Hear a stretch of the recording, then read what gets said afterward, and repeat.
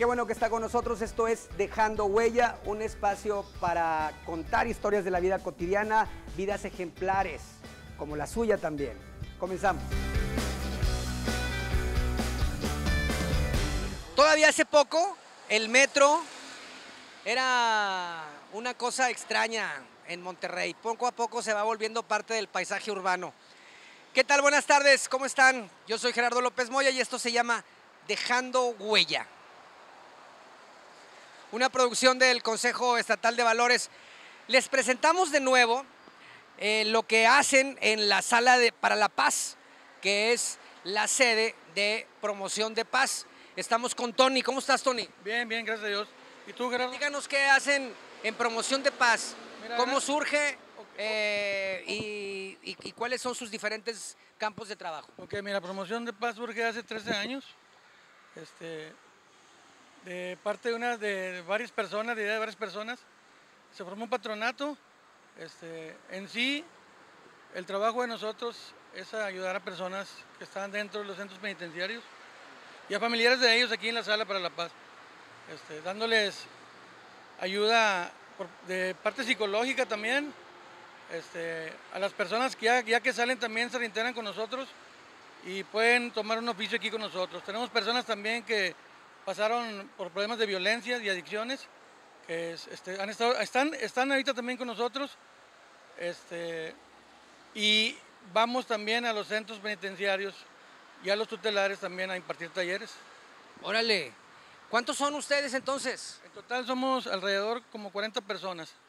Este, entre Ahorita mismo a esta hora del mediodía de aquel viernes que grabamos, hay gente que está trabajando en los en penales, centros penitenciarios, exactamente. En Apodaca. en formando talleres. Dando talleres y de formación de va- varias, este, de varias cosas. Est- están en, en Apodaca, en aquí en Topo Chico y también en Cadereyta. Órale, qué padre. Y Consuelo es, digamos que Es la la, es- la directora fundadora de este proyecto, ¿va? que ya tiene como digo 13 años, pero en sí en sí tenemos casi cuatro años, ya resurgió más fuerte ¿va? a base de la violencia que ha habido aquí en Nuevo León y en toda la República. Entonces este concepto ha resurgido. Este, damos apoyo ahorita alrededor, yo creo, de unas 500 personas que están trabajando con nosotros. Vamos a presentarles algunos de los talleres que se imparten aquí en la Sala de Paz, que está por Avenida Penitenciaría, eh, 100 metros antes de llegar a Rangel Frías. 100 metros antes de llegar a Rangel Frías, por esta que es la avenida que se llama primero Simón Bolívar, luego Este, Rodrigo Gómez, Rodrigo Gómez, Aztlán. Aztlán, exactamente. Vamos a otra cosa y luego regresamos aquí a la Sala de Lo- Paz. Lo, que yo quería comentar también es que todo el concepto de nosotros es completamente gratis para las personas. Aquí no se cobra ningún centavo. Es al contrario, este, todo lo que todo lo que movemos nosotros es a base de donaciones ¿verdad? y todo se comparte con toda la comunidad de nosotros. Qué padre. Exactamente así es. O sea, toda la gente, incluso la comunidad, los chavos que estén por aquí cerca pueden venir a acercarse. Claro que sí, a claro. las clases de Com- hip com- hop, com- de carpintería, carpintería, herrería. también. Este, también tenemos tratamiento psicológico completamente gratis por personas capacitadas. Este, y, y varias cosas más que también les interesa a ellos, este, medicina del deporte y etcétera. Yo quisiera que sí se arrimaran ¿verdad? y se dieran cuenta de que cómo trabajamos ¿verdad? y lo que te digo es completamente gratis para cualquier, para cualquier público en general. Gracias, Tony. Vale, ¿no? Con saludarte. Viva la paz. ¿eh?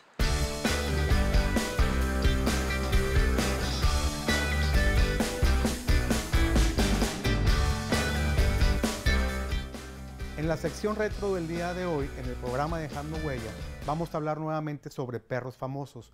En la primera parte, en el programa anterior, estuvimos hablando sobre perros famosos, pero que eran perros reales o hechos por computadora. El día de hoy vamos a hablar sobre perros famosos, pero en caricaturas. Hubo unas caricaturas que muchos de ustedes deben de recordar que se llamaban los niñonautas. Los niñonautas tenían un perro que se llamaba Can Can que los acompañaba en todas sus aventuras. Otros perros muy famosos y muy orejones eran Canuto y Canito, con la frase aquella famosa que decía, Canito, hijo mío. Otro perro que a lo mejor muchos no vamos a recordar, pero Porky tenía una mascota. Curiosamente, aunque Porky era un cerdo, tenía una mascota y esa mascota se llamaba Charlie. Johnny Quest también tenía una mascota que era un perro y era bandido. Si ustedes recuerdan a la tortuga d'Artagnan, D'Artagnan también tenía una mascota y era su fiel mosquetero Dundun. Otras caricaturas de Warner Brothers, en donde estaba Marvin el marciano, tenía un perro verde, que era su mascota, que era conocido en español como el K9. Daniel el travieso también tenía una mascota, su perro Rufo, que ambos molestaban a cada rato al pobre y sufrido vecino del señor Wilson. Pierno Doyuna, si ustedes recuerdan los autos locos, tenía su mascota, que era un perro bien burlón. ¿Recuerdan cómo se llamaba? Se llamaba Patán. Y como Pierno Doyuna era bien tramposo y siempre perdía las carreras, pues Patán siempre se burlaba de su dueño. Había otro perro que se parecía mucho a Pierno Doyuna y era Pulgoso. Pulgoso era el fiel compañero de la abuelita motorizada. Otras caricaturas ya más tiernas fueran la, Dama y el Vagabundo, en donde Walt Disney pone a dos perros de diferentes clases sociales, Reina, que era una cocker, y Golfo, que era un perro callejero, deciden unirse y tienen sus cachorritos y tiene un final feliz. un Dálmates es una película muy dulce de Disney, en donde Perdita, que vive con Anita, y Pongo, que vive con Roger, hacen estos dos perros que sus dueños se enamoren y terminan enamorándose también, Pongo y Perdita. Tienen muchos cachorros y toda la película gira alrededor de la malvada Cruella de Vil, que lo secuestra porque se quiere hacer un abrigo con piel de dálmata. Y bueno, conocemos el final que como tenía Cruella de Vil muchos animalitos secuestrados, Pongo y Perdita con el aullido nocturno los logran liberar y finalmente todos los perritos se quedan con ellos, aunque no todos eran sus hijos inicialmente. Había un perro azul, si ustedes lo recuerdan, era aquel famoso de Huckleberry Hound, que hablaba así con un acento medio cubano. Tenemos, acuérdense, a esta camioneta que eran los investigadores del terror, en donde estaban Chaggy, Fred, Vilma, Daphne, y Scooby-Doo era un gran danés que siempre los acompañaba, y después se incorporó a estas caricaturas Scrappy, que era sobrino de Scooby-Doo. Eh, Tribilín y Pluto son dos perros muy famosos que también son personajes de Walt Disney y volvemos a estas cuestiones extrañas porque Tribilín tenía un comportamiento humano, era un perro, y Pluto pues tenía comportamiento de perro y era la mascota de un ratón porque su dueño era Mickey Mouse. Los chicos malos también eran unos perros que salían con Walt Disney.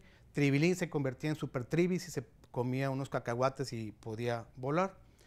Y se le conoce a Tribilín más como Goofy que como Tribilín porque se ha ido cambiando y actualizando el nombre que tenía en Estados Unidos. Y por último les quiero este, recordar a, otros perros donde estaban los tres mosqueteros que eran Viva, Bravo y Urra.